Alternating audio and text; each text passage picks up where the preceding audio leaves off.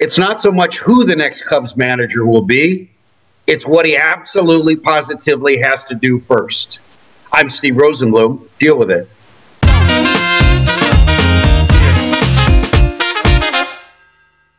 Theo Epstein firing Dale Sveum is Epstein admitting a mistake.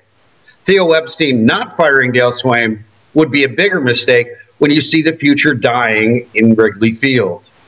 All of the hope, and that's what Theo Epstein is, he's a hope salesman. All the hope was getting worse. Castro, Rizzo, Samardzija, Barney, anything that was supposed to be part of the future was looking like it was part of the past.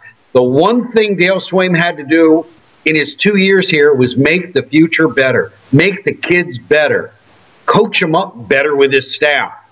And they got worse. You'll hear a lot of gobbledygook about creating a winning environment, in game managing, blah, blah, blah. Theo Epstein's going to say a whole lot of stuff about what he wants in a new manager. The only thing that matters right here, right now, is making young talent better. Maybe it'll be Joe Girardi. He seems to be the popular choice. But remember, Dale Sveum was hired when Mike Maddux, Greg's brother, wasn't ready to make a move to Chicago. He might be now.